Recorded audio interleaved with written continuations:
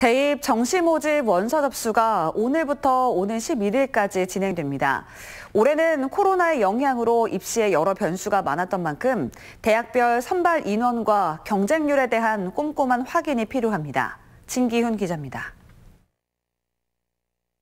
정시 모집 원서 접수가 시작된 가운데 올해는 정시 모집 인원이 예년에 비해 늘 전망입니다.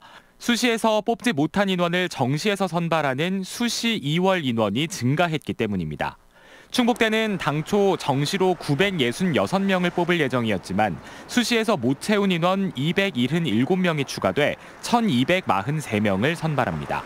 청주대도 기존 정시 선발 인원보다 129명 늘었고 서원대도 215명 증가했습니다. 입시 전문가들은 이 같은 수시 미충원 인원에 주목할 필요가 있다고 말합니다.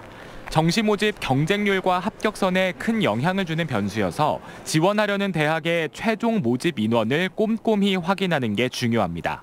또 최초 선발 계획엔 수시로만 모집했지만 수시 미충원 인원이 2월돼 정시 모집이 발생하는 학과도 있습니다.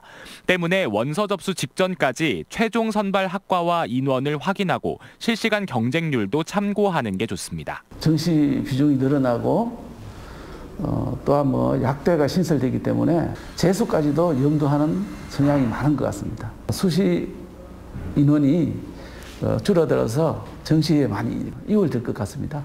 이 밖에도 수능 총점만 고려하기보단 영역별 반영 비율을 고려해 유불리를 계산하고 내신 등급보다 수능 점수가 좋다면 수능 성적을 100% 반영하는 대학에 주목할 필요가 있습니다. CJB 뉴스 진기훈입니다.